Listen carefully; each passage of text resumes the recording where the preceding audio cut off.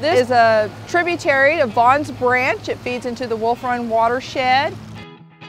Two years post-restoration, I'm very happy with how the project's turned out.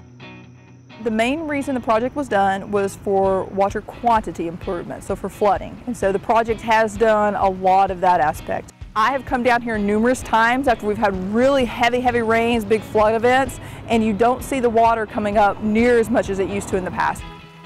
I think in a lot of respects we've exceeded a lot of those expectations that I had for this project. This has been a wonderful project to bring people out to and say, hey, in an urban area, we can do some really cool things like this. We're not limited just because we have roads nearby or homes. There's a lot of wonderful ecosystem services that projects like these can provide in an urban landscape. As you can see behind me, the vegetation is really starting to thicken up, grow in. As the project still matures, the biggest thing we're probably going to notice really is the vegetation.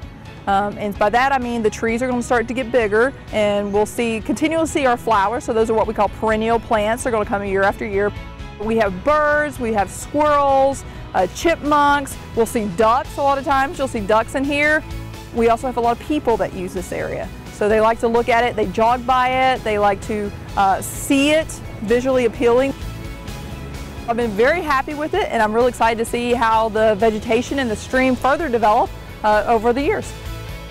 Now I have changed the way I teach my class. So at least 30 to 40% of my class is taught outside and I use this part of the stream a lot for it.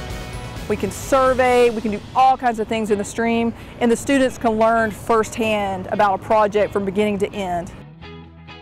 The university, I think, has a wonderful opportunity with projects like this and others on campus to create these outdoor ecosystems, but also to create a more sustainable ecosystems.